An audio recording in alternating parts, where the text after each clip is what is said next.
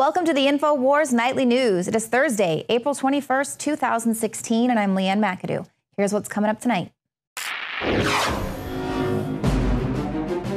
Tonight, new insight into Saudi Arabia and 9 11. Then, how doing well in school is a new form of oppression. After that, Senor Thor, a real life Avenger, fights crime in Mexico. And another sports commentator gets benched for conservative views. That's next. This is you go to, say, 24 Hour Fitness in Houston or the YMCA, whatever it is, and you walk into the women's restroom and you go in the showers by women with your pants off. Used to that was called basically sexual assault, the beginning of sexual assault. Not now. Well, some more news coming at you by way of the United States of Orwell. The Guardian is now saying correcting people's bad grammar is racist. That's right. This is the Guardian's Mona Chalabi. And you know what? I might not even be pronouncing her name right, but that doesn't matter according to her. She says correcting bad grammar is offensive and racist because white people are more likely to be concerned about good grammar. This she is the newspaper's data editor, okay? And she's talking about how grammar rules were invented by wealthy white people and therefore non-whites should be free to ignore them without being criticized. She uh, Chalabi says the people pointing out the mistakes are more likely to be older, wealthier, whiter, or just plain academic than the people they're treating with condescension. And all too often, it's a way to silence people. And that's particularly offensive when it's someone who might already be struggling to speak up. so rather than correct people's bad grammar, people should just shut up and listen to them. So, of course, like I said, this is the data editor. So who knows what kind of um, grammar faux pas are going to be coming out of the Guardian here soon. But the message is very clear. It's don't strive to improve yourself, accept mediocrity. This is, of course, completely demented.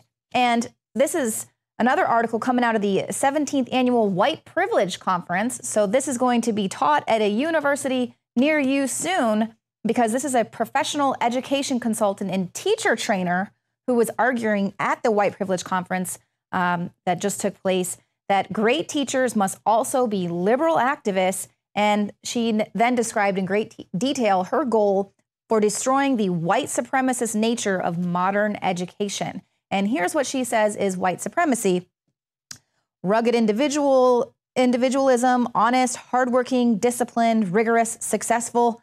This is the ra- racial narrative of white. And so then the narrative of US public education kind of falls in line with that individual assessment, meaning, you know, getting good grades, showing up on time, uh, using proper English, uh, discipline. This is all white supremacy. So, I mean, these might be regarded as, you know, traits necessary for success in the modern world, but she says that only white people are apparently capable of being on time, getting good grades, being disciplined. I think that is freaking racist. So basically, you're saying that people of color do not possess these qualities.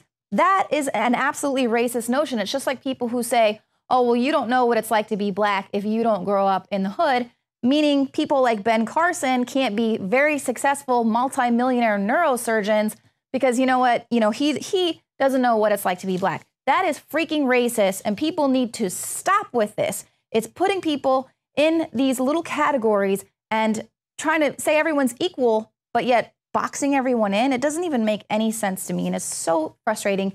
And that's why we point this stuff out because it is Idiocracy, which, by the way, is celebrating its 10 year anniversary.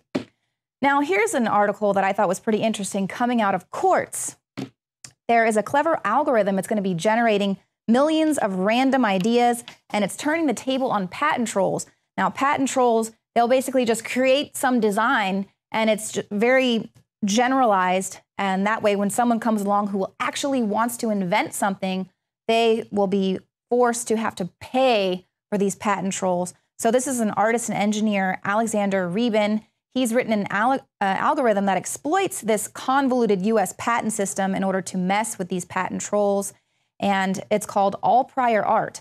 And so what it does is algorithm posts ideas for inventions that'll prevent people from filing patents that they're not going to use. according to U.S. patent law. If there's prior art, uh, in this case, anything that's previously published version of the idea, no one can file a patent on it. And he's posted 4.2 million such ideas and counting. So this is really good because we have people out there that are just filing these arbitrary patents and then blackmailing and exploiting the actual creators of this world who would do something positive uh, with whatever it is they want to come along an event.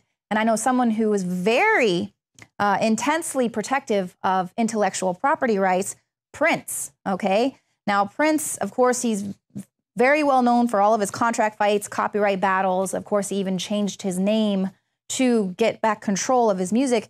Um, he actually filed a patent for the Purple Axe, which is the custom designed keytar, the keyboard and guitar that he used, uh, that famous there was kind of in there with his sim- symbol when he was the artist formerly known as. Well, Prince died today at the age of 57.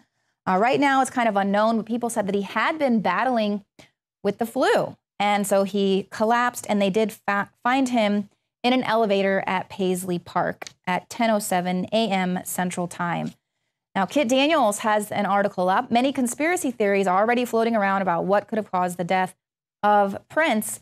Uh, but our article is up. Did the chemtrail flu kill Prince as well as Merle Haggard? Both of them suddenly died of a mysterious illness, and they both had been suffering with the flu. Now, just like Merle Haggard, Prince also spoke out about chemtrails. He even wrote a song about it. Tell me about Dreamer. When I was a kid, I used to see these trails in the sky all the time, and a jet just went over. And then you started to see a whole bunch of them. And next thing you know, everybody in your neighborhood was fighting and arguing, and you didn't know why. Mm-hmm. Okay? And, and you really didn't know why. I mean, everybody was fighting.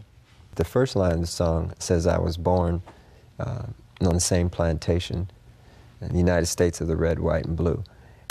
Joining me now is Kit Daniels to talk about this flu like sickness that is causing a surge of respiratory illnesses across the country, um, as well as we're going to talk about some of the contributions Prince made to society. Yeah, Leanne, just look some of these headlines from past couple of months. Eight-year-old girl dies suddenly of flu complications this February 19th. She said this little girl woke up Sunday morning with a stomach bug. Family friends told her she tested positive for influenza when they took her to the hospital. But that afternoon, within just a few hours, they were performing CPR on her and she was gone. Same thing happened with this, uh, this school teacher, I believe, in Kentucky. Uh, she was had trouble breathing, and before they know it, within 24 hours, she was also gone. Mm. And then, uh, see, Sun City Independent at midseason cases are up 50% compared to all flu last season's flu season.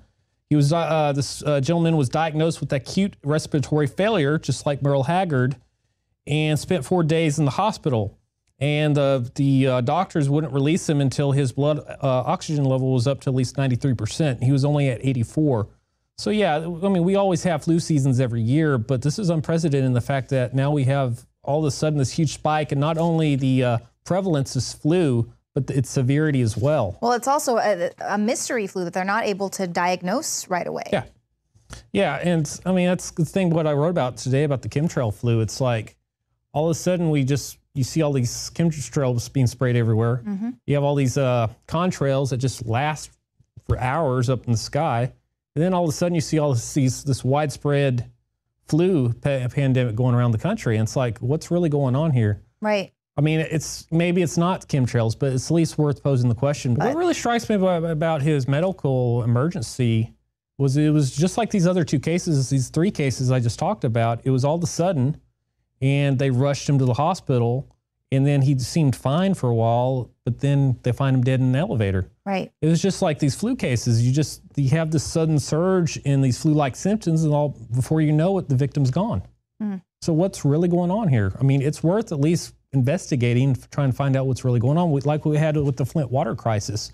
I mean, I'm sure like a couple of years ago, people would have been if you posed the question, maybe the government's doing something with the water supply they're not supposed to be doing, or there's incompetence you know, they'd laugh at you as a conspiracy theorist. So it's like this weird thing where it's you're not allowed to pose questions, even though the questions you pose might lead to the actual answer. Right. Yeah. And don't worry about what you can actually see with your eyes, which mm-hmm. of course is what Prince was talking about in the clip we just played is that he could see them with his own eyes, and then he would see the actual effects Yeah. that it was having on the people in his neighborhood. So very interesting there. Yeah, and moving on to Drudge, uh, Prince's the contributions he made in his life. You know, I read some headlines on Drudge this afternoon, and one of the things that really struck out with me the most about Prince was he he spent his whole life fighting for control over his music. Now, some of his techniques weren't really stuff I agree with. You know, he was trying to push copyright claims on YouTube. At one point, he's he put a copyright claim on a mother because she used like a 29 second clip of his song while his baby was like dancing to it. Mm-hmm. And so I think that's still, uh, it's been like 10 years ago, it's still circulating. And Well, they actually just decided um, earlier this year or late last year that Yeah. finally it took about 10 years to. so, yeah, it's easy to kind of see Prince as this abuser in the situation. But once you look a little bit more deeper into it, you see that this is a man who's always been trying to fight control for his music, not just by people bootlegging his music, but also by the music industry executives and the record companies and whatnot. Um, he said in this tweet once that if you uh, don't own your masters, meaning your master tapes, then the masters own you. right. And he also mentioned this in a uh, interview, that late night interview that he a couple of years back, that he said he was talking about control over your creation, about how you need to, if you create something, you really need to have control over it. And you know, we he talked.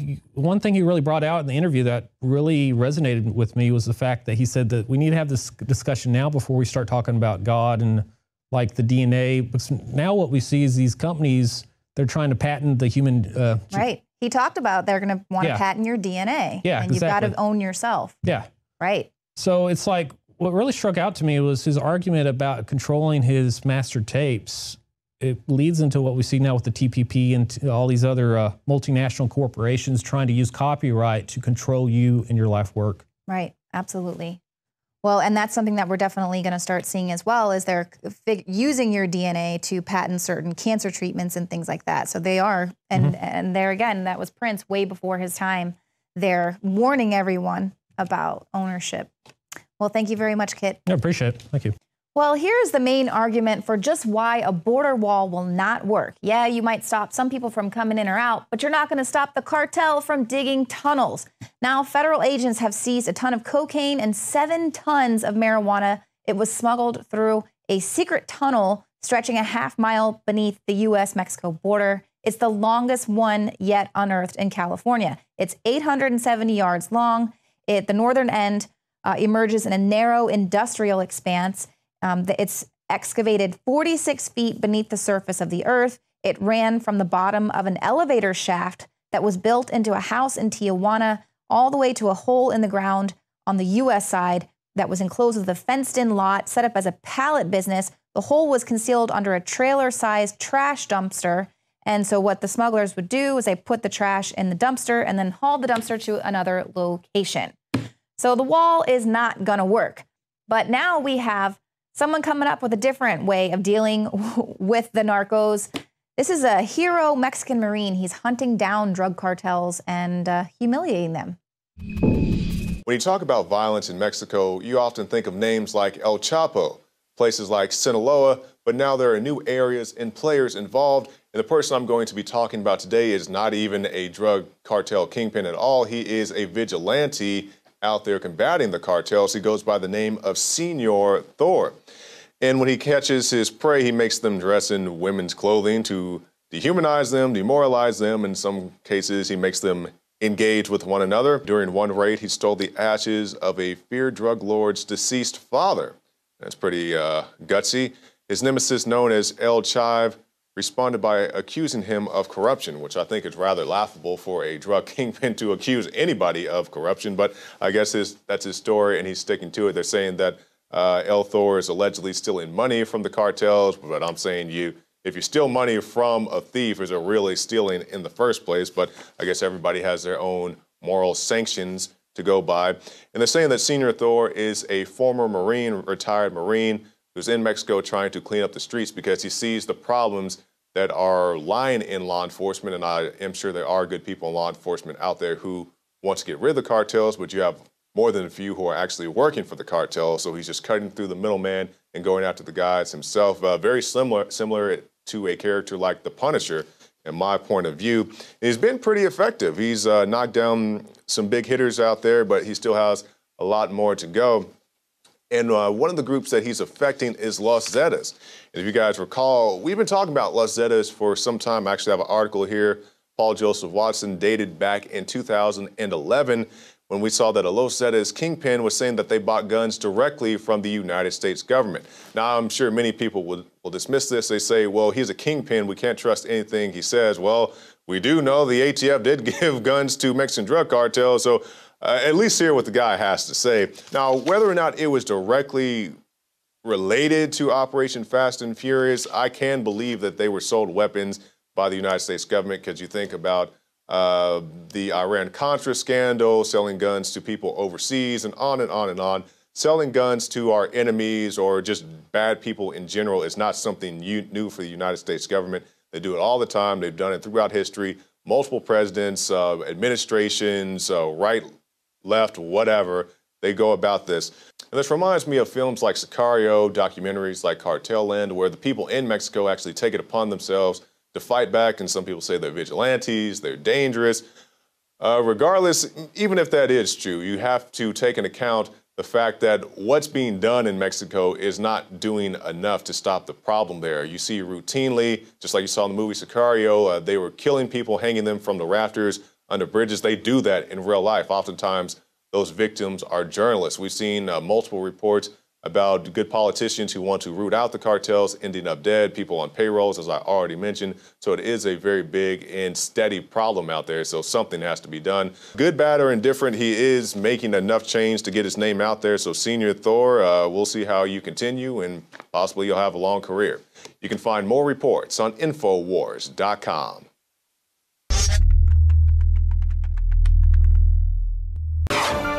Well, Trump might have stepped in it today after he said that transgender people like Caitlyn Jenner can use whatever bathroom they want at Trump Tower. This was during NBC's Today Show.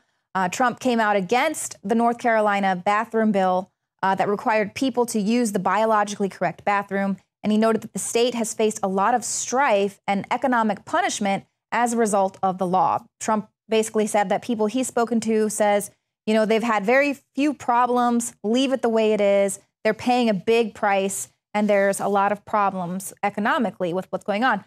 But Trump, you've completely missed the point. North Carolina was fighting back against a federal mandate.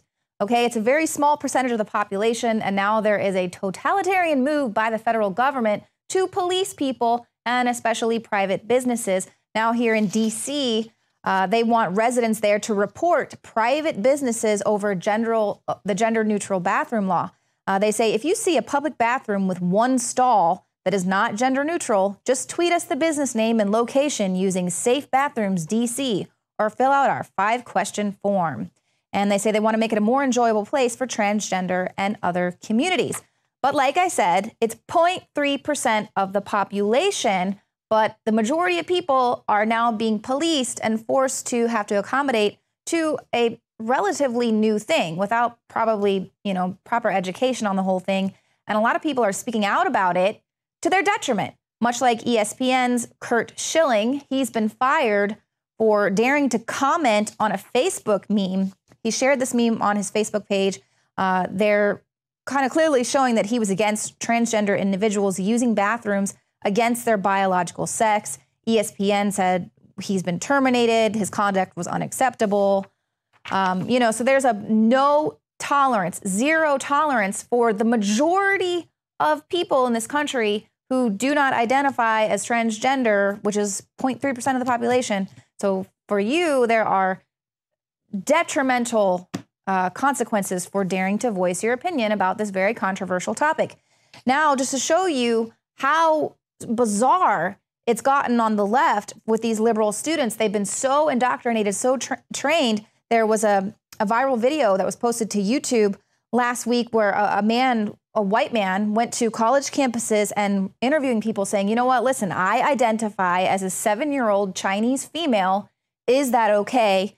And all but one person said stuff like, you know, I feel like it's not my place as another human to say someone is wrong or to draw lines or boundaries.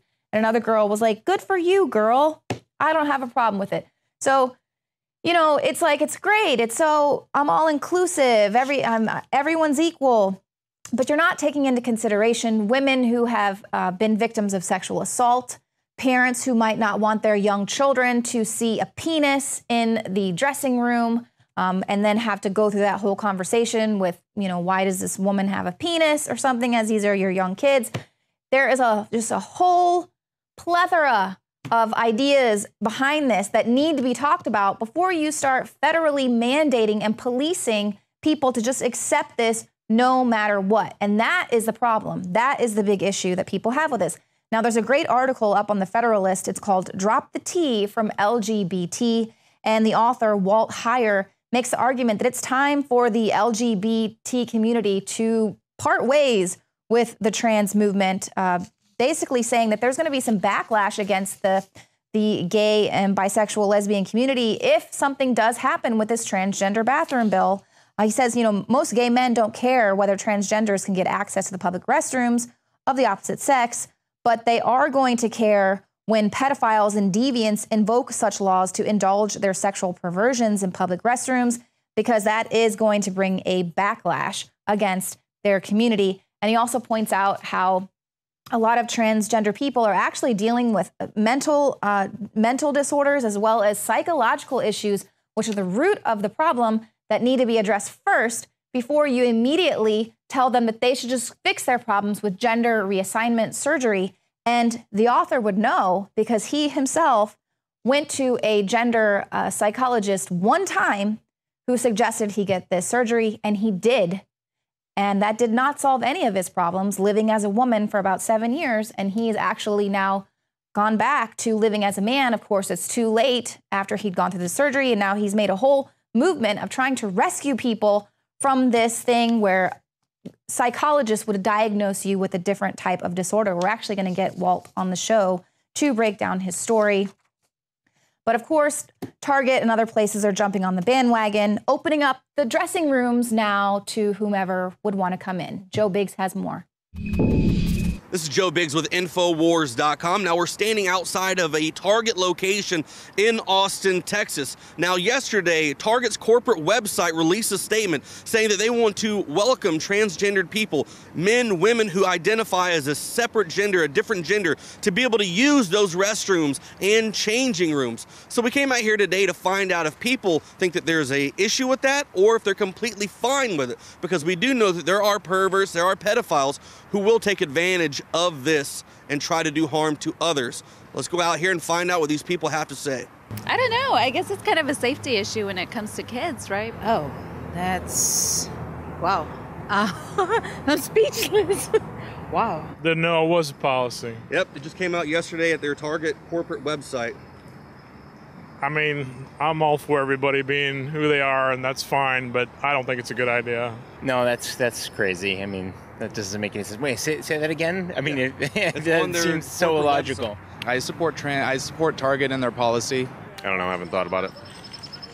I mean, do you think anything could possibly go wrong with it, or do you think it's fine that men can go in the women's restroom? I haven't thought about it. No issue. No, no comment. Idea. Yeah. I, I have no problem with that at all. No. No. No problems. check the calendar. Check the calendar.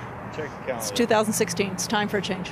I um, have a mommy and daddy, a, a adopted mommy and daddy, who are totally comfortable with me being a little girl. You know, when you see a guy that's 300 pounds with a goatee who pulls in in a Harley and uh, is going through my closet and saying, Can I wear this dress? Can I wear that dress? You know, or can I kiss you when I'm wearing the dress? You don't expect it. Um, well, I have some friends and people that I know that would probably identify that way, so I'm okay with whatever suits their needs. I don't know, and I'm a pretty liberal old lady. I'm just not real sure that I want men in the dressing in my bathroom space. But on the other hand, I think if you have uh, gender identification other than what you were born, you have rights too. So it's a it's a tough way to call it. I think they're perverted and they ought to go to hell. Yeah.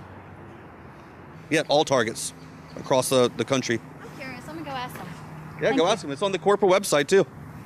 It is. Yep. If you go to the uh, corporate website, they updated it yesterday that allows transgendered or any kind of man who says I identify as a woman. So me right now, a 250 pound guy, could walk in there and go, I'm a woman, and just go use the restroom. I want to ask about that. I'll be back. Thanks. All right. I mean, what do you think could go wrong? Like a pedophile, someone trying to misuse that to come in there and do something? It's a lot of crazy people in this world.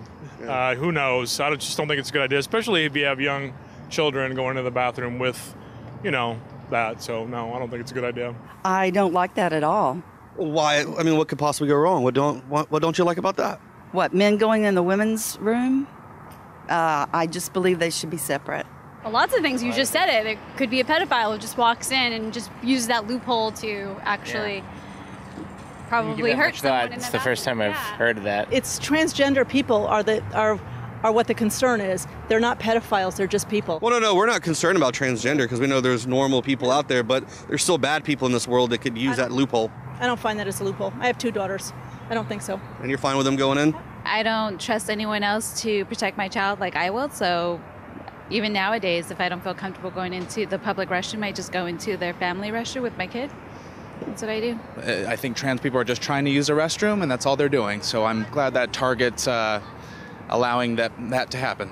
If it were that safe, I would say sure, but the world's not that safe. Uh, my sister had somebody use their use a camera to look up her skirt inside the store, so now they're in restrooms too. Like, and not saying that who, or, I mean, that person was probably a gender straight person, you know, normally sociable, you know, identifiable, but people still, it's that's somewhere supposed to be safe. Oh, just hypothetically, what do you think about that? No, I don't want I don't want men in the women's restroom. Because nothing could possibly ever go wrong with that, right? Correct. Right. Yeah. Exactly. Right. So I think that's well, at least you're more concerned about it and you're willing to go in there and get the number and make a call and find out. I'd like to know. You guys have at least brought it up, and I'm curious to know if that's their policy or not. Then I can make my decision on whether I'm comfortable using the restroom in a Target store.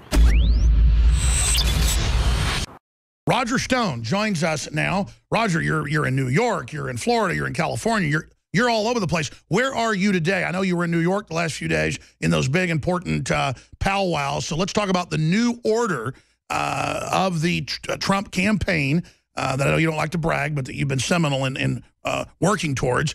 And then we're going to get into uh, moving forward, uh, the big rally that you and others are organizing for uh, the integrity of the popular vote, uh, and so much more. Well, Alex, I'm actually in Florida today, where the Republican National Committee is meeting in Hollywood, Florida for three days as the run up to the Republican National Convention. Uh, it, I am very, very excited about the uh, big win in New York. I think it was a manifestation of the uh, new focus of the Trump campaign. Uh, but let me be really clear the changes made to Donald Trump's campaign were made by Donald Trump. He's the big picture man, and, and I am merely a supporter, as uh, is Paul Manafort, his, his new convention director, and essentially the guy uh, guiding the campaign towards the magic number of 1,237. Uh, this was a big victory in New York, uh, and I think it, it shows uh, a new technology on the part of the Trump people. I think they very skillfully overlaid Donald Trump's very effective public appearances and rallies um, with those congressional districts that were most competitive. Uh, and they emerged not only with a sweep, but with tricky Ted Cruz running a really poor and I would argue embarrassing third. So um, uh, it is interesting to me that as we go forward, Pennsylvania, Delaware, Maryland, uh, I see these as Trump country. These are places where both public and private polls show Donald Trump with strong leads. Uh, and Ted Cruz is now reduced to bragging about South Dakota and Montana. Uh, and while those are wonderful states, they're small states in the far west uh, where I frankly think uh, Trump is still competitive. So I don't see uh, Ted Cruz being competitive in any of the states moving forward. Uh, California, of course, is the big enchilada. Now, in all honesty, I can tell you as uh, someone who's experienced in nine Republican presidential campaigns, California is too big to organize on a grassroots basis. I love grassroots activity. I'm obviously for it, but I view it as gravy. This is the ultimate media state, and it's a state where celebrity has great importance. Donald Trump is, of course, the ultimate celebrity. He has a star quality that no other candidate can match. Um, his campaigning, as I think you have seen, Alex, has become more focused and more uh, effective in just days since a leadership change in his campaign. So I am more bullish than ever before that he will get 1,237 votes on the first ballot.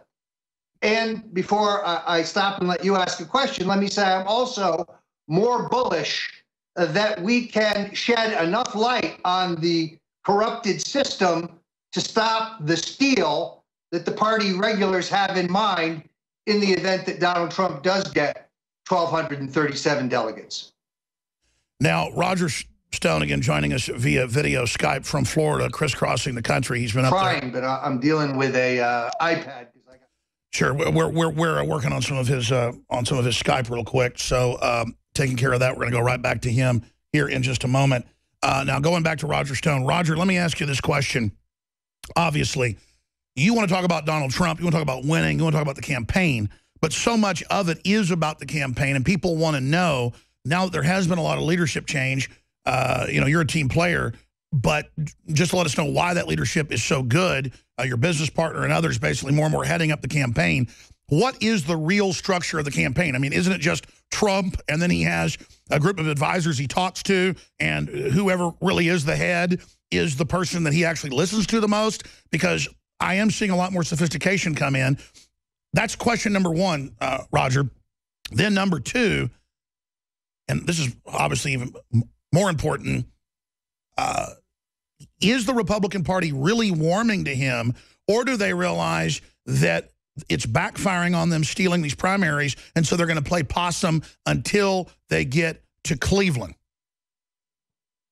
Well, let me say a couple things. First of all, uh, unlike these career politicians that we're so used to, Donald Trump runs Donald Trump's campaign.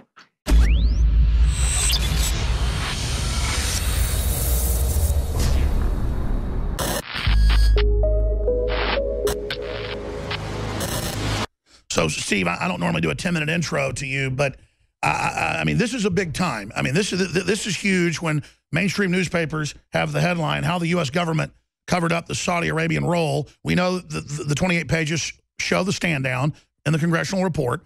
And we know the military knows what really went on. And I know you've talked on air, and I think it's been lost because you're dropping such bombshells about CFR meetings you've been in, meetings with generals, where it just gets right down to everybody knows it's inside job and everybody knows who did it.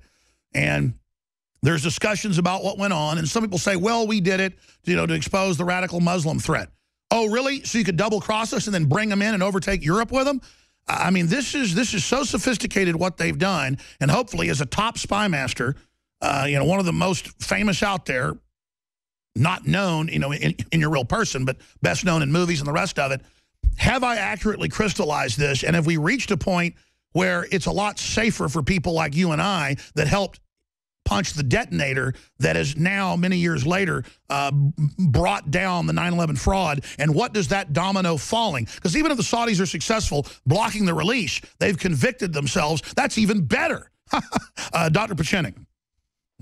Well, it's been a great honor and a pleasure, but the truth of the matter is we do owe it to you, Alex, and I certainly owe it to the American public that's been listening to the alternative media since you oh, know God knows when 2001, and and you you all have done a phenomenal job. It's not about me and it's not about Alex. It's about a lot more people, and and believe it or not, it's the people within the intelligence community and the military. I can't tell you how many times I'm stopped by individuals who recognize my voice, not necessarily my name, who who work within the system and are grateful for what we have done because the civilians who were involved, Bush, Cheney, Rumsfeld, Condoleezza Rice, Steve Hadley, Hillary Clinton, the Wolfowitzes, the neocons, the neocon Jews, Israel, Dubai, Pakistan, Saudi Arabia will all be implicated in what's happened in 9 11. But what eventually arose from all of this were several factors. One, was the emergence of a very unique individual who no, no one could have predicted. I did not predict that a Trump would arise at a moment when our history required a self made American entrepreneur an American made entrepreneur, not somebody who depended on the kindness of strangers, but somebody who was able to take whatever assets he had and built it into a fortune, which he then dedicated to creating something better for others, namely America. He doesn't need the power. He doesn't need the money. He doesn't need the accolades of any of these Republicans. That's why we are now in the crux of the revolution. As Alex has said, you have all deserved this moment, but we can't stop because the Republican Party has now become the face of the enemy. The Priebus's, the Mitt Romneys, the Jeb Bushes, the Neil Bushes, the Marvin Bushes, the the Paul Singers, the uh, Ricketts family, the Hubbard family, all those families who never served our country, but who were able to take and extract our slave labor and our monies in order to aggrandize their fortunes. Now, the irony is many of these com- uh, companies, particularly the Koch brothers, his father made his fortune, not in America, but under Stalin. So I usually call the Koch brothers, who graduated where I did at MIT, the red babies, because the real fortunes were not made in the American oil fields.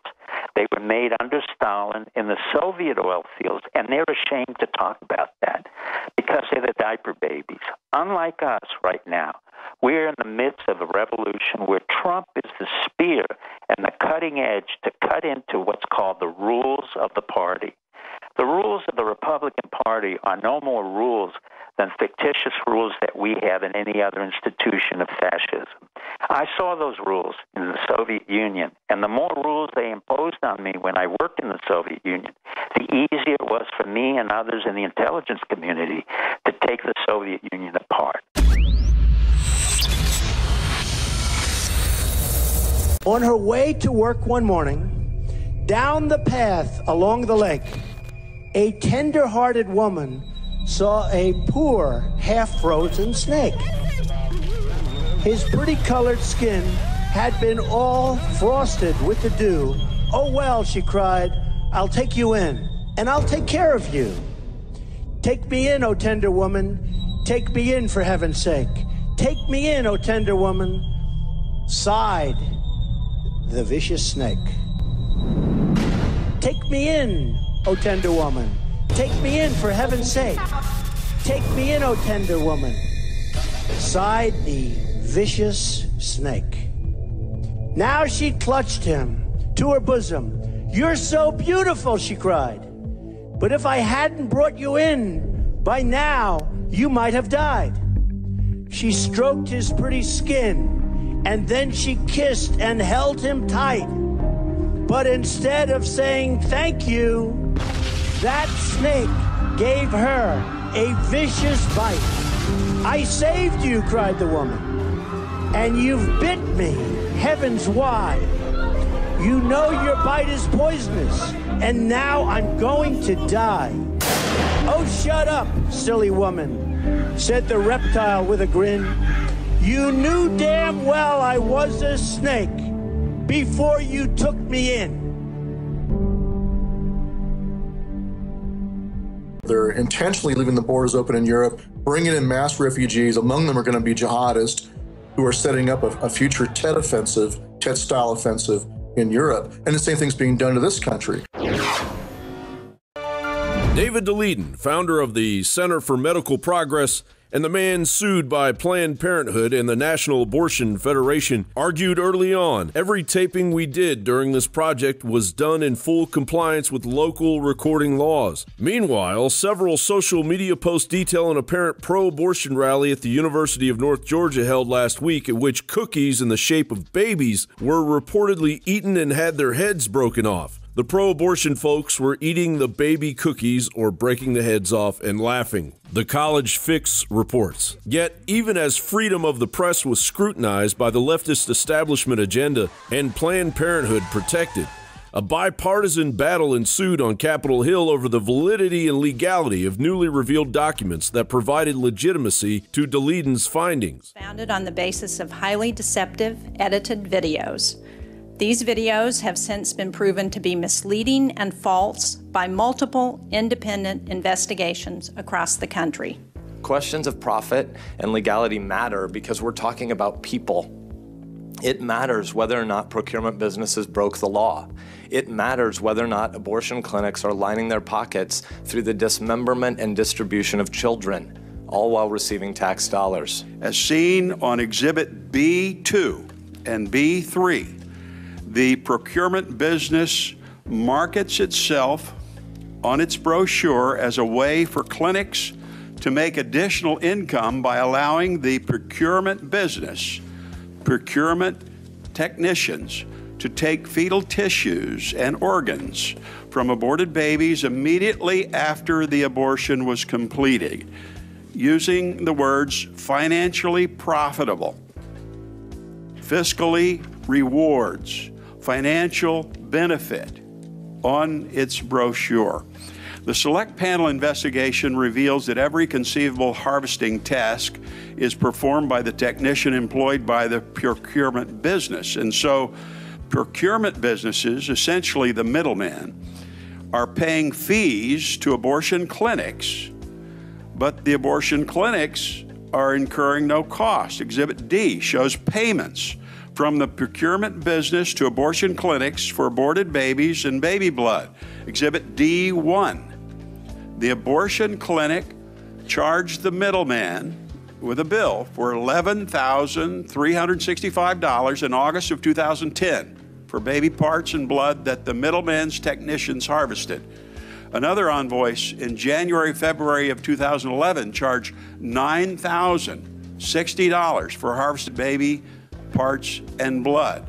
The middleman even makes it easy for the researcher to purchase baby body parts. Exhibit C3, the procurement business order form or, or the drop down menu for baby organs shows just how easy this is.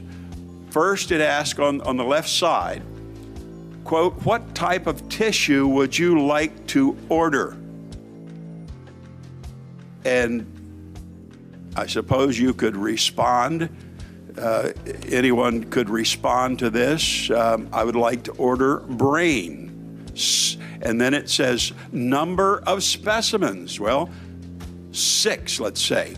Baby brains. Gestational range, start and end. Well, that be 16 to 18 weeks. And then here's another question add another tissue type could say yes.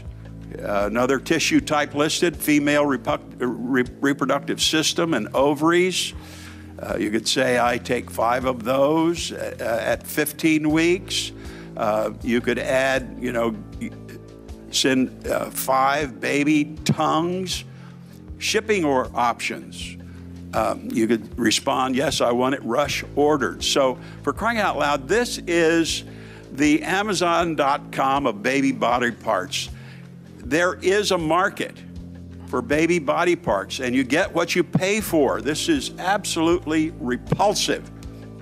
And we must not forget it, as was testified here. Each one of these, you know, little baby brains or tongues represent a baby. How can anyone defend this practice? Uh, what this committee is about is highly important and very critical to the criminal justice system and to the uh, uh, sanctity of that system in the United States of America. It's really not uh, about uh, the issue of abortion because pro- uh, potential profiteering and trafficking in aborted uh, fetal tissue is of grave concern, not only on the federal level, but also in many states, including my own state of Colorado. Uh, which has uh, adopted a law similar to the federal law that is being uh, looked at by this committee today. There are many, many people, therefore, concerned that not only this federal statute, but also the, the state statutes at issue have been violated and are being flouted by the abortion industry. We can all agree on this statute. It passed with bipartisan support in a Democratic Congress and was signed into law by President Clinton. Representative Waxman at the time called the fetal corpse market abhorrent. And yet, the panel's evidence reveals that abortion clinics are being promised a profit and, and are paid, even when they have no apparent costs to be reimbursed, and further multiplying a clinic's windfall via savings on disposal services. Tissue procurement companies are likewise paid exorbitantly by their customers. This market in baby organs and tissues demonstrates a flagrant and repeated disregard for the rule of law. And um, we actually see there on the first line where she communicates with the assistant manager, says, upon arrival, inform the staff clearly of what you are procuring for the day. So let's follow on then with um, Exhibit C5. The procurement tech then reviews the medical files, which is another subject of whether this is a HIPAA violation, whether she has um, the rights to be looking at those files of the patients to learn their names and the gestation time of their baby. And she records this in a gestation tracking log. Um, essentially matching the patient with her needs, not the patient's needs, but with her needs of what she's been given as her job for the day. Um, also, it was stated that researchers are losing money on this fetal tissue. If they're losing money, how, how are they losing money if there's not a financial transaction? Clearly, there are more questions and falsehoods surrounding the fetal tissue scandal, but it isn't Planned Parenthood's feet being held over the fire. Here in liberal bizarro land, an attack on the First Amendment is well underway. Leftist propaganda fueled drivel pushers like MSNBC and Salon, for instance, continue to argue that David Daleiden isn't a journalist and deserves no quarter for his actions to uncover the truth behind the sacred walls of the Rockefeller supported African American decimating Planned Parenthood. Dinosaur Media is completely steering the boat in another direction veering the public conversation as far away from the highly questionable practices of the sale and distribution of America's children. Jon Bowne for Infowars.com.